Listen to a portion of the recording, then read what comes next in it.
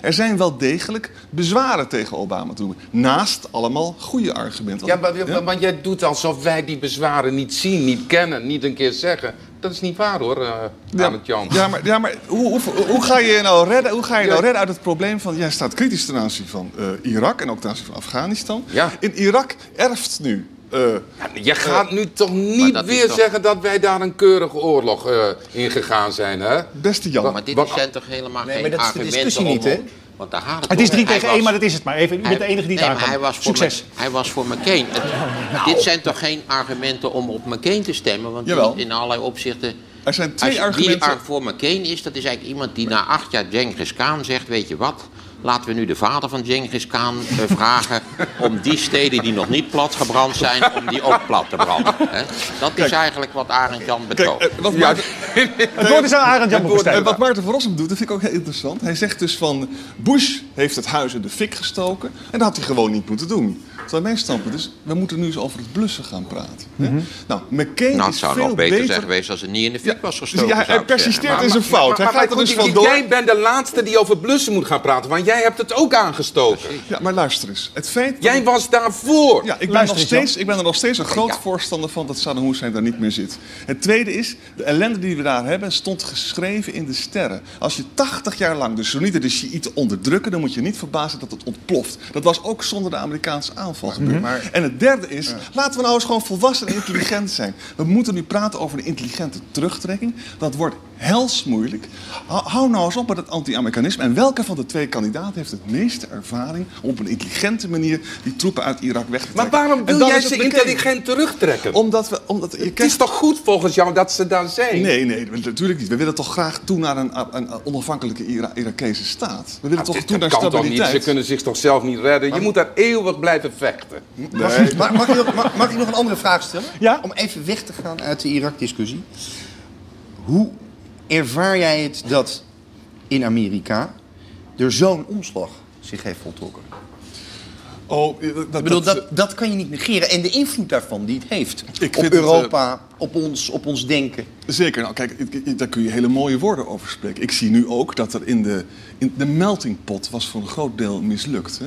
Nu is er dus een Wat bedoel je kans. daarmee? Nou, dat gewoon de integratie van Ja. culturen. In Amerika was niet alleen maar een groot succes. Toen ik zelf in Worsten zat, ik woonde dus op zo'n eh, op zo'n hoek. Hè? En dan liep ik even in een zwarte staat. Dan werd ik totaal uitgescholden dat ik dus- blank was. Dat is niet helemaal geslaagd, Dus zou ik willen zeggen. Nou, nu is er dus een kans dat er een beweging Dat ontstaat. is toch ongelooflijk? Dat, nou, sterker nog, de Nederlandse politiek kan daarvan leren. Want je kan, weet je, we ga je hadden, dus, we hadden dus Hillary een vrouw, we hadden een man op leeftijd, McCain, en we hebben een zwarte man. Die drie hadden alle drie hoge ogen. In Nederland is alleen nog maar die laatste categorie, een wat oudere man zou een kans maken, maar we hebben nog steeds geen vrouwelijke minister-president. Nee, maar blijf en even ook geen Amerika, zwarte. blijf- Nee, maar Amerika, dat vind ik dus heel bijzonder. Dus het idee van een meritocratie, dat je dus daar zit, onafhankelijk van je religie, seksen of wat dan ook, is natuurlijk fantastisch. Ja. Ik, ben ook, ik, ik hou Maar- ontzettend van Amerika. Dat vind ik het mooie daarvan. Dat dat daar kan. Maar ik begrijp het nu niet helemaal meer, want je bent uitgenodigd en die uitnodiging heb je aangenomen. Te zeggen, nou, ik wil eigenlijk best wel eens even uitleggen Ik, ik begin, ik, hij, begint waarom- langzaam euforisch te worden. Nee, nee, Ja, ik, denk ook, voel ik het denk aan ook hem. dat er eigenlijk iets heel anders aan de hand is. Kijk, het Arend is Jan, ook heel lastig. Arend Jan kiest hier in feite voor het standpunt wat hij zelf diep in zijn ziel helemaal niet deelt. Hij is, ook, hij is ook voor Obama, maar hij vindt het wel een lollige pose om, voor de verjaarde, om, om voor de verwarde bejaarden te Maar zijn. luister. Nou, Wacht even, geef daar eens antwoord Dat, op. dat geeft je natuurlijk in dus Nederland twee- een hele aantrekkelijke uitzonderingspositie. Dezelfde, want dat is het leuke van Arend Jan. Dat hij heeft nu al bijna een klein decennium ongelijk en hij wil dat continueren. Arend Jan, nu ja. Het probleem met Maarten van Rossum, als je Maarten hebt, dan, krijg je, dan blijft Saddam dus zitten. Ja, dan, heb je, dan zou, dat, dan zou die vrede tiran. Dat lijkt me geen prettige positie die Maarten heeft. Wat ik nu wil zeggen, waarom ben ik voor McCain nog even heel zakelijk? Slot. Veel meer ervaring op buitenlandse politiek. Een man uit één stuk. Wat hij meegemaakt heeft in Vietnam, dat is met geen pen te beschrijven. Hij was de luizende pijl van de Republikeinse Partij. Die Bush van het begin af aan, na die oorlog, gezegd van... dat gaat dus zo niet goed, je moet het anders doen. dat dan, maar waarom heeft hij dat dan Huh? in die hele campagne geen dag meer kunnen uitleggen dat hij, Hij die luisterende pils was? twee- heeft Maar dat hebben we toch allemaal gezien? Hij heeft twee vreselijke fouten gemaakt. Oh, Slot- slotwoord. De twee vreselijkste Ja. fouten. En de Ja. eerste is de keuze voor Sarah Palin is natuurlijk verschrikkelijk. Dat moet voor jou ontzettend dat zijn was, geweest. Dat deed heel veel pijn. Pijn? Daar Waar? heeft, daar heeft zelfs Ja, Arend Jan nee, een maar Sarah, traantje Sarah Palin is weggepikt. ook vreselijk. En het tweede is, die negative campaigning past helemaal niet bij het karakter van Nee. deze man. Die man is namelijk echt heel Maar interessant. dan, maar dan ben je toch helemaal niet zo'n ervaren man als je op die leeftijd nog tot die negatieve campaigning Ja, overgaat. Maar, maar weet je wat de tragiek hiervan zal vast wel Grieks geweest Hij is gegijzeld, jongen. Ja, dat is wat er gebeurd is. Nou, dat is Tot allemaal, zover. Dat ben Tot ik het helemaal zover. niet mee eens. Hij heeft gaan- toestemming gegeven om deze smerige karaktermoordcampagne te voeren. Als hij dat niet had gedaan, was het niet gebeurd. Maar eerst even dit kleine filmpje. Ik hou het erop dat Arend Jan is ook voor Obama. Je kunt veel beter voor het liberalisme gaan. Maar, maar we, we hebben zoveel slechte, domme fouten gemaakt. Ik ben daar heel openhartig over. We hebben eigenlijk alles fout gedaan wat je fout kan doen. Hè?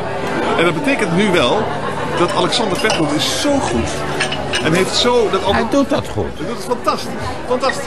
Het gaat ook om het praktische beleid. Wat dat betreft is Rutte een beetje het hoofd in de wolken en zo. eh. Geen idee. Hij heeft geen idee. Dat is schokkend hoor. U werd gevolgd door een team van één vandaag. U had dus een microfoontje nauwelijks zichtbaar op het, altijd weer een van die zwarte truien eh, nog wel opgespeeld. Die camera liep daar ergens achter.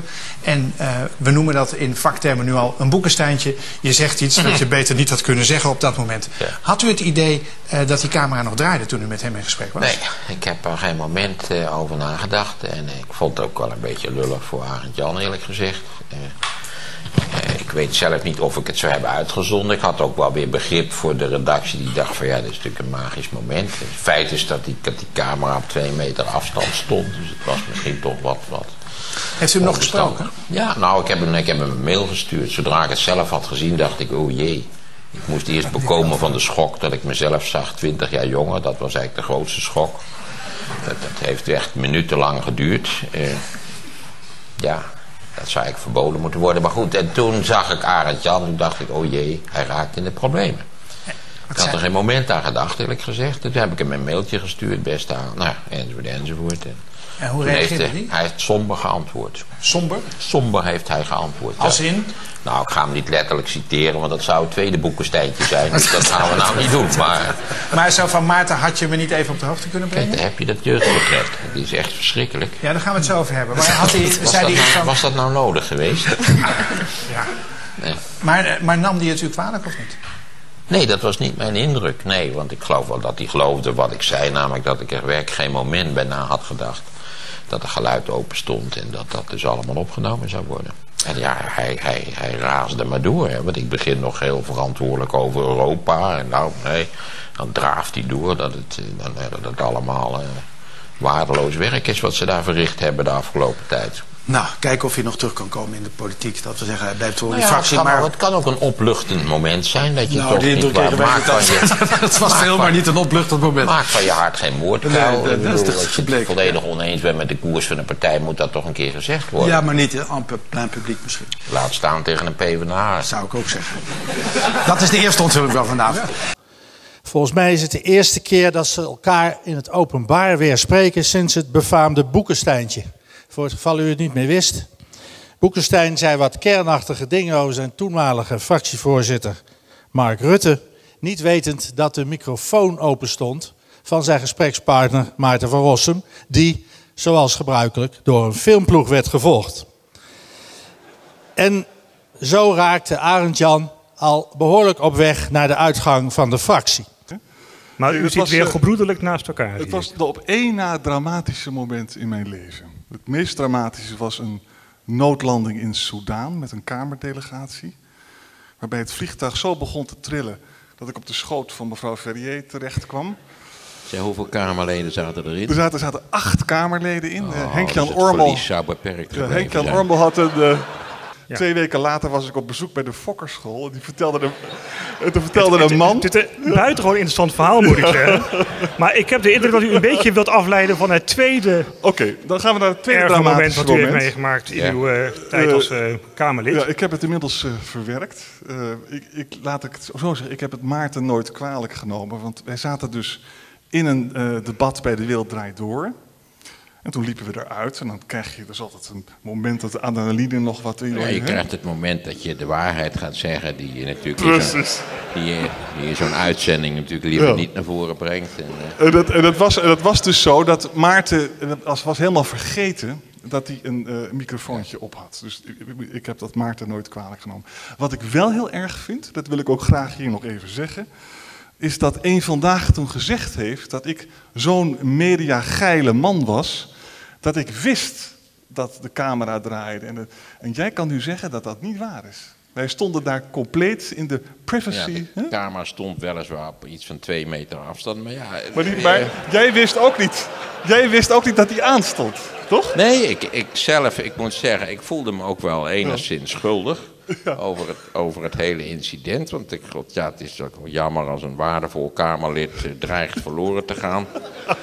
dat, je, dat je natuurlijk uiteindelijk toch aan je eigen executie hebt meegewerkt via Frits, via Frits Wester. Eh, toen ik dacht, goh, nou nee, laat ik het daar niet over hebben.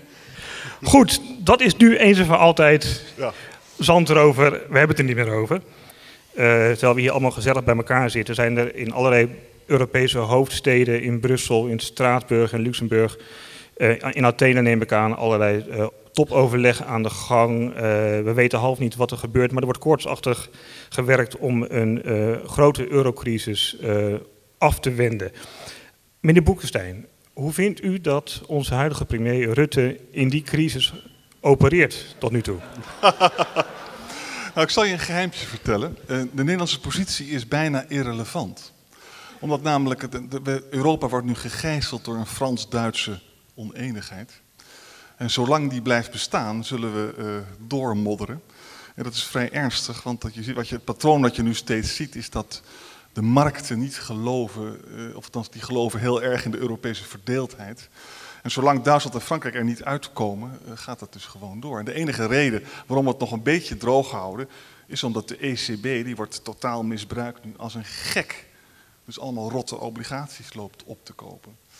En wat er, het is echt ongelooflijk wat er nu gebeurt. En, eh, en wat eronder ligt is nog veel gevaarlijker. Dat is namelijk het probleem van het too big to fail. Hè? Van wat er vandaag gebeurt bij Dexia, hè, een Frans-Belgische bank. Die wordt dus nu eh, door de belastingbetaler eh, gered.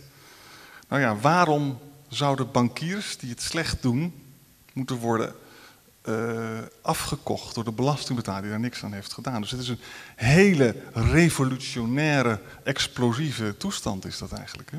Dat geldt voor Nederland minder. Hè? ING, Egon en SNS die betalen keurig hun geld terug. Maar eh, in Merkelland, met die Landesbank, die er ook een enorme puinhoop van heeft gemaakt, ben ik daar nou niet zo zeker van. Maar een revolutie, eh waart er een spook door Europa op dit moment? Nou ja, kijk, dit is, dit is dus een gigantische moral hazard, moreel risico. Hè? Crédit Lyonnais, Crédit Agricole, Société Générale zitten diep in, eh, in het zuiden. Dat wisten ze van tevoren. Ze hebben het ook gedaan omdat ze wisten dat de risico's zouden worden afgeschermd door de belastingbetaler. Nou, dat is natuurlijk een systeem dat niet goed is. En dat heeft grote politieke consequenties eh, natuurlijk ook. Dus eerlijk gezegd eh, sta ik er stil met grote ogen naar te kijken. Maarten van Rossum, zegt Nou u ja, ik- krijgen we er een als ik revolutie? even- als ik even tel, dan hebben we nu een heel jaar achter de rug waarin de media elke week beweerden dat als die week de beslissing niet zou vallen, de toestand hopeloos was. Dus dat is nu 52 keer het geval geweest. En dat leidt mij tot de gedachte dat het wel mee zal vallen met die euro. Die euro zal tenslotte gered worden.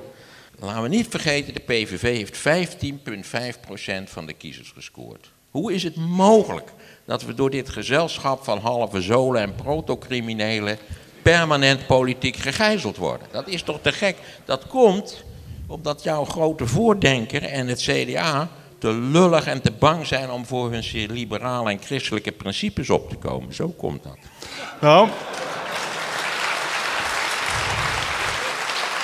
Weet je, weet je dit, dit kabinet wat er nu ligt, weet je wat de achtergrond Licht, is? dat is het woord. Het, eh, CDA, je, je kan de haat van het CDA voor de PvdA niet eh, onderschatten. Het is ongelooflijk. Dat is toch weet, ongelooflijk onprofessioneel. nee, maar, nee, maar het einde van het die laatste... Is toch gewoon gestoord. Nee, maar het einde van het laatste kabinet Balkenende heeft zoveel kapot gemaakt. Dus een constructie met het CNA. Alsof CDA, dat alleen de schuld van de Partij van Arbeid Ja, Nou goed, dat, laten dat, we dat, dat, dat, verschillende meningen over. Maar het feit was dus daar dat CDA en PvdA konden niet meer regeren. Nou, wat kon nog wel paars, paars plus had gekund? Dat was het ontploffen van de VVD geweest. Nou, prima. Daar dacht Rutte een beetje anders over. Nou, de, vraag is, is het een liberale partij of is het een, pro- een partij van dichtgetimmerde provinciale conservatieve winkeliers. Wat ik wel heel erg vind, dat zal ik hier ook maar eerlijk... komt een boekensteintje.